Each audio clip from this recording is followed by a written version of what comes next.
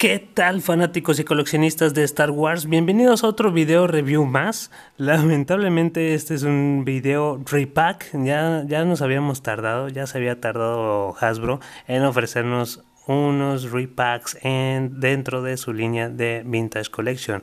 ¿Qué pasa? Bueno, pues que ahora tenemos al Capitán Cassian Andor, pero pues no hace mucho en la, en la colección de Black Series de 375, pues ya habíamos obtenido esta figura que viene siendo esta que tenemos por acá. Como les digo, es meramente un repack, ya pues casi todo está igual, si no es que todo, todo es lo mismo.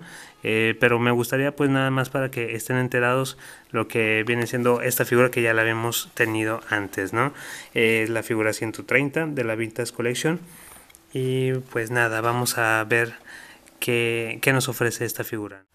Y bueno, más que nada vamos a hacer un pequeño así, un resumen muy rápido de lo que son articulaciones eh, de la figura porque pues como que ya les voy a dejar en descripción el, eh, la liga para que vean el video review completo que habíamos hecho de esta figura. De hecho e, es el primer video que hicimos en este canal, entonces también por ahí eh, les pido que me tengan un poco de paciencia con la elaboración de ese video en aquel entonces.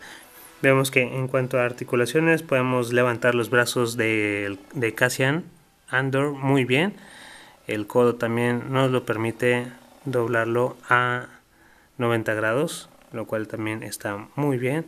Su pequeño chaleco que es de plástico muy muy suave. ¿sí?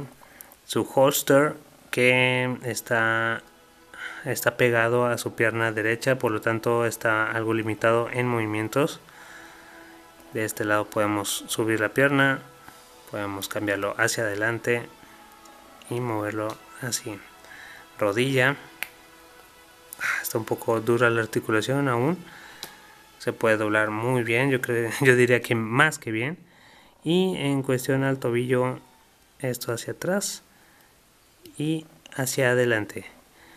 Sí, yo creo que aquí no sé si pudiéramos notar una diferencia a comparación de de este Black Series y el Vintage Collection que por ejemplo aquí pueden notar ustedes que yo conforme hago esos movimientos del tobillo pues ya me fui llevando la pintura de encuentro.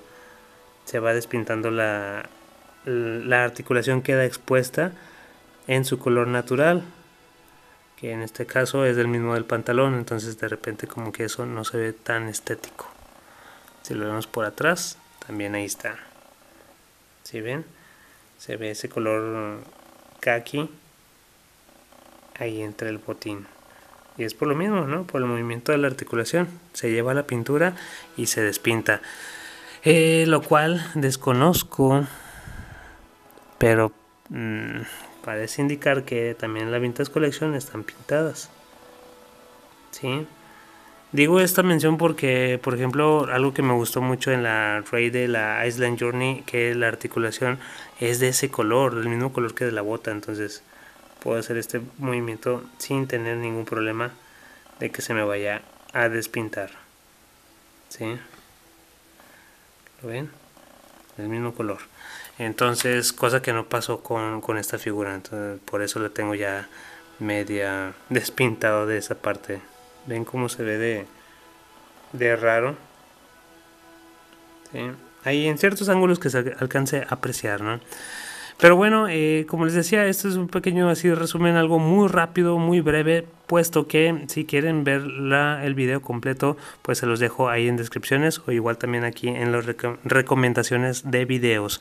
Eh, recuerden darle like al, al video, suscribirse si no lo han hecho y bueno, pues nada, recordar que este video está hecho de un fanático de Star Wars para fanáticos de Star Wars.